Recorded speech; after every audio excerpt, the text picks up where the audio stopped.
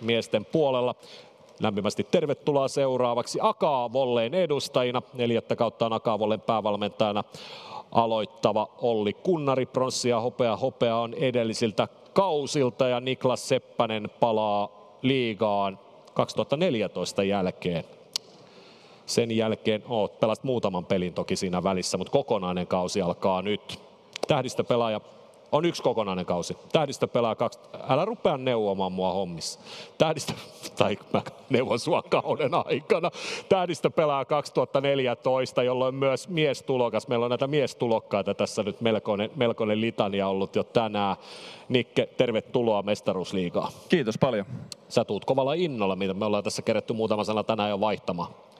No joo, kyllä. Että tota, tämä Suomeen paluu on, on ollut niin kuin oli suunnitteilla jo pidemmän aikaa ja on ollut silleen, silleen selvillä, että se, se tulee tapahtumaan ja nyt tässä on Akaan kanssa pari kuukautta tehty hommia, niin tota, on kyllä tykännyt ja, ja, ja niin kuin sanoit, niin suurella innolla odotetaan, että, että tota, kausi alkaa ja pääsee pelaamaan se on jännä, kun vaikka tässä viikoittain sunkin tekemisistä ollaan Lentopalloliiton kanavissa puhuttu tuolla ulkomailla pelatessa, niin vähän niin kuin tutkan alla kuitenkin, kun ei pelaa mestaruusliigassa eikä maajoukkuessa.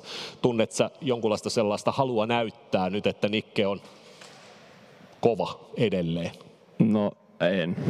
Et, tota, ei se, se on oikeastaan itselle ihan se ja sama, että mitä, mitä missäkin puhutaan. Että tota, se, se on kuitenkin tärkein se joukkue, missä sitä milloinkin on, on niin tota, että on, tekee niin kuin kaikki sen joukkueen eteen ja niin hyvin kuin pystyy ja koittaa auttaa joukkuetta menestymään, niin tota, ei se, en, en koe, että pitäisi näyttää kellekään mitään, mutta tota, totta kai niin kuin Aka niin kuin luettelit tuossa, niin mitalleja on tullut ja siellä kärjen tuntumassa on ollut, niin tota, tietenkin haluan antaa sitten kaikkeni siihen, että saadaan se kirkkain sieltä.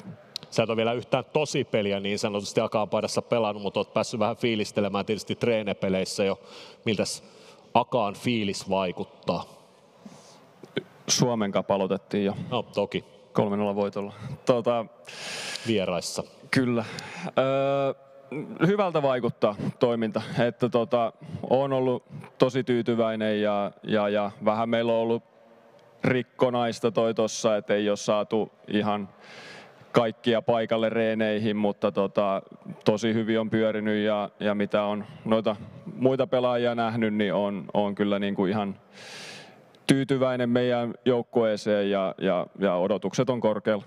Hyvä, kiitoksia Nikke. Jatketaan päävalmentaja Olli Kunnarin kanssa seuraavaksi. Muutoksia oli joukkueeseen tämmöiset nimet kuin Niklas Seppänen, Sakari Mäkinen, uusina pelaajina, no miksei Joel Anderssonkin, niin varmaan pelaaja, jotka jokainen joukkue liikas olisi halunnut.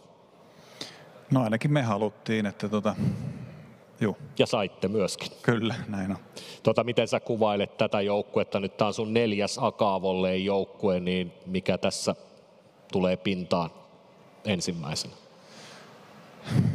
No, totta kai tyytyväinen joukkueeseen, mikä ollaan saatu jälkeelle. Ja, ää, kyllä mä odotan, että me pelataan semmoista hyvää, hyvää organisoitua torjuntapuolustuspeliä tänä kaudena, että siihen, siihen kovasti uskallan luottaa. Hyvä organisoitu torjuntapeli kuulostaa ihan kuolettavan tylsältä verrattuna, mitä tässä muuta, muuta on lupailu, mutta se taitaa olla niin voitto, mikä sua kiinnostaa. No ilman muuta, että kyllä niin kuin ollaan lähellä, lähellä oltu, tai finaalipaikka niissä ei olla oltu lähellä sitä voittoa, mutta tota, niin kuin siellä kutiteltu, niin kyllä sen tois, niin kuin koitetaan totta kai kirkastaa. Petteri Tyynismaa on Joonas Jokelan lisäksi ainoa meidän miesten maajoukkue runkopelaajista, joka pelaa nyt mestaruusliigassa tulevalla kaudella.